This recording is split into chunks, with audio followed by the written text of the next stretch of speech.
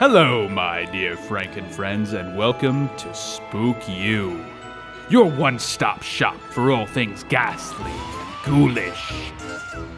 I'm your host, Barnabas Vixen, and my, my, my, do we have a tasty assortment of tantalizing tales for you today. Handpicked by our very own Weavers of Woe. Guaranteed to send a chill down your spine your money back. So is non refundable. But enough teasing, because you're here for the stories, aren't you? Well, without further ado, allow me to pass the reins on over to our vivacious voiceover virtuoso, Trey Falco, for the first of tonight's spooky stories. And I'll be seeing you real soon. That is, if this doesn't spook your eyeballs out first. Hey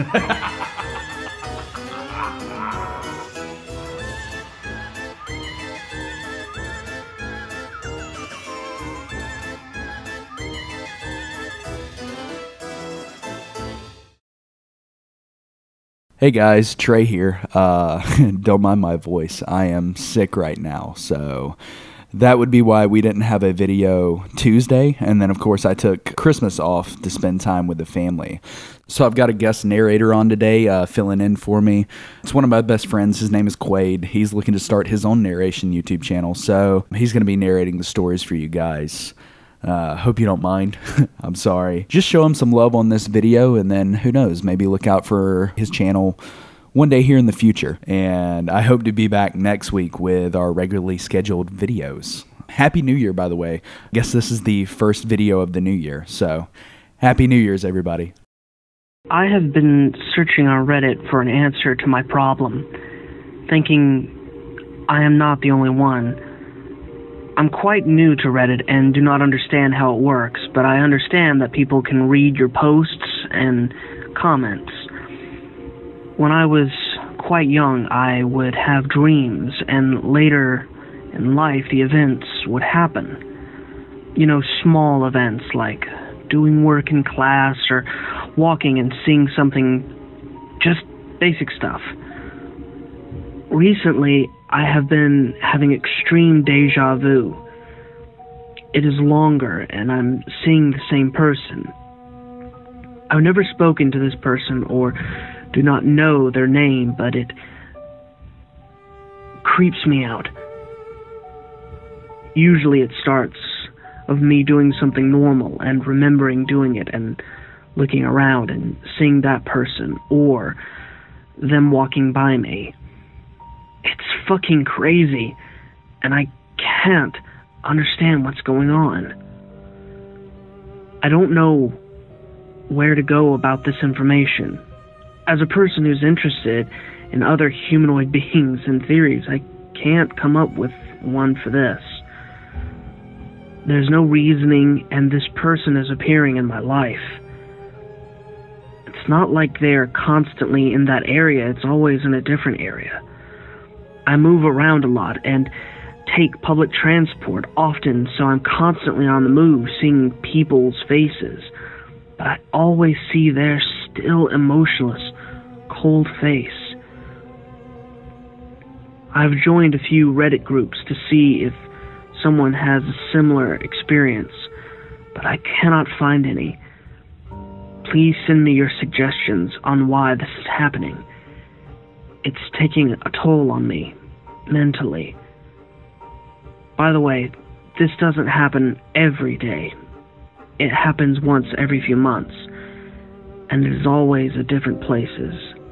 At first, I ignored it and paid no attention to it. But now, it's beyond that.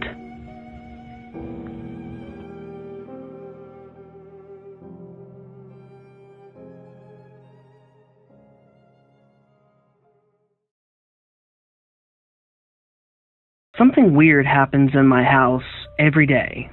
Unopened wine bottles are open. The metal door of the boiler container slams on the ground, even if it was perfectly sealed. Chairs falling out of the blue. We learned to live with these events because they started happening five months ago. I also have a six month old dog that lives in the house's garden. When he was a puppy, sometimes he started crying after staring at something that was never there. Now he grew up and he still sees something, but he doesn't cry anymore. When he sees it, he tries to get me in the house and barks at me. If I try to go outside, he wants me to stay in the house. Then he goes where he saw something and stays there for about five to ten minutes. Then he comes back and he lets me know that it's all safe, that I can go outside now. I've never seen what he does in that 10 minutes because as soon as he hears me going outside the house, he comes to get me back in. The other day, my father went outside the house and saw a bucket full of water. He used that bucket one hour earlier and it didn't rain, so there was no explanation for the water. He stared at the bucket for two seconds and then it literally exploded in front of him. He also told me that he has always had a weird feeling when he goes to the bathroom at night. He feels that someone is watching him. Only my father has this strange feeling, and the weird stuff happens only in front of him. We moved to his house nine months ago.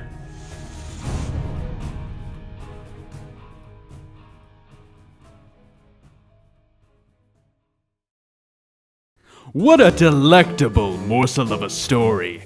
Something short and sinister to get that blood flowing. Hopefully, that'll hold you over while we talk about one of our sponsors Big Frank's Body Shop. Frank is a frequent listener of Spookyou and has immeasurable knowledge when it comes to your body.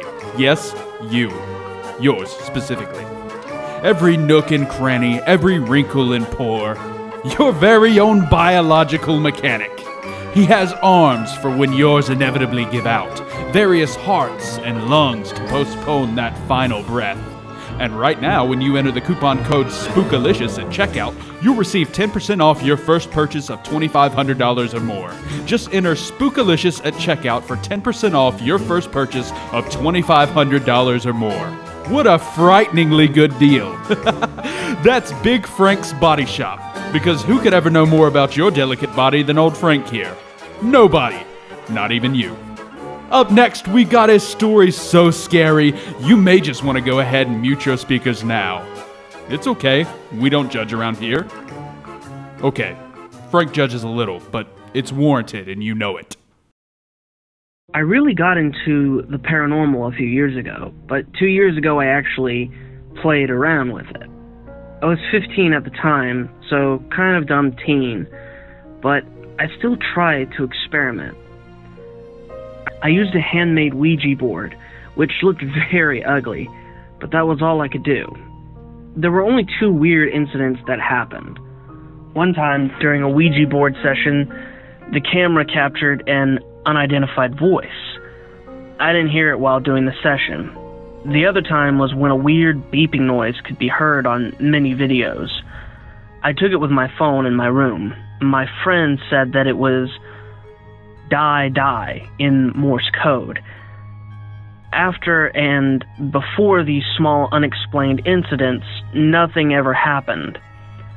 That is, until today. I was at home upstairs, and my grandfather was downstairs. It was already dark, but the only light on was a small lamp in my bedroom. I went to the toilet, to which I have to walk along a short hallway and up a tiny staircase. Right next to the bathroom is the study room. At this time, only the bathroom lights and the small lamp in my bedroom was on upstairs. As I'm sitting on the toilet, I heard footsteps on the hallway, then on the stairs. I thought it was my grandfather looking for me to ask me if I want to have dinner. I finished, opened the door, and saw that the light in the study room was on. I immediately went downstairs and asked my grandfather if he'd come up. Nope. My parents didn't arrive home either. It was just me and my grandfather. I don't know if anything actually paranormal happened or what not, but I'm baffled.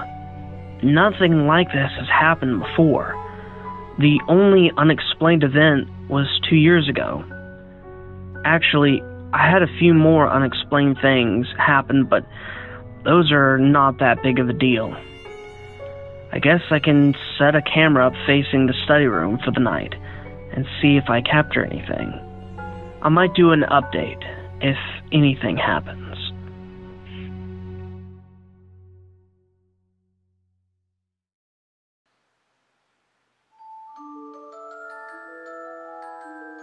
Oh, you're still here.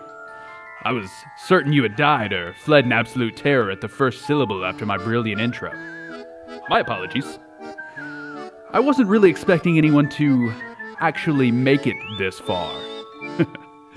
Nevertheless, if you enjoyed what you've heard this evening, then make sure you leave a like on this video and strike that subscribe button.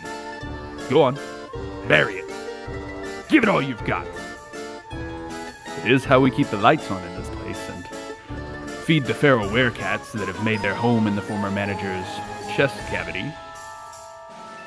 And now, it is with a heavy heart that I regret to inform you that it is time for us to depart. But don't despair. I can already hear your incessant weeping. I'll be here every Tuesday and Thursday to bring you more bone chilling and soul shivering stories to whet that insatiable appetite of yours. Now go forth, my ghastly gang, and stay spooky.